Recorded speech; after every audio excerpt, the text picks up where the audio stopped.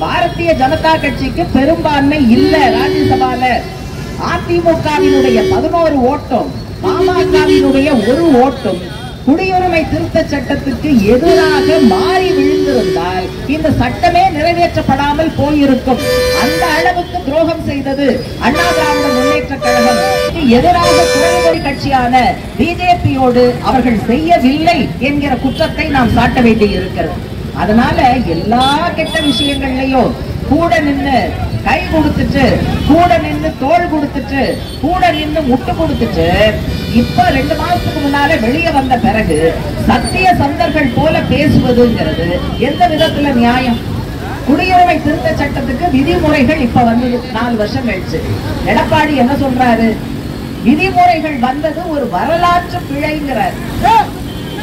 இந்த கேழ்வரகுல நெய் வடியுதுன்னா அப்புறம் கேட்கிறவங்க என்ன அப்படின்னு ஒரு பழமொழி இருக்கு பாத்தீங்களா?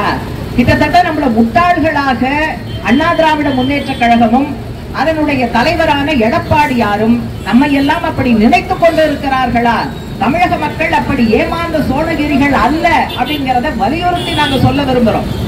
நீங்க விதிமுறைகள் கொண்டு வந்ததே வரலாற்று பிழைனா சட்டம் கொண்டு வந்தது எப்பேற்பட்ட பிழை? அந்த சட்டத்தை ஆதரித்தது எப்பேற்பட்ட பிழை?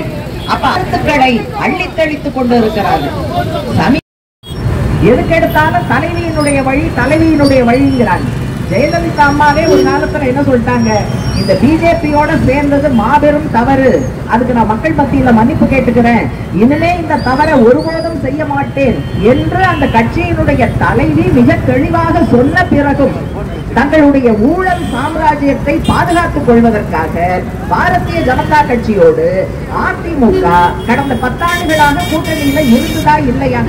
தேர்தலுக்கு சில மாதங்களுக்கு முன்னால வெளியில வந்துட்டு பாவ மன்னிப்பு கேட்டால் மக்கள் மன்னித்து விடுவார்களா?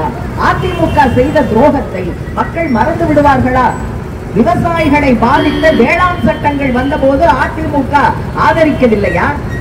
தேசிய கல்விக் கொள்கை வந்தபோது அதிமுக ஆதரிக்கவில்லையா?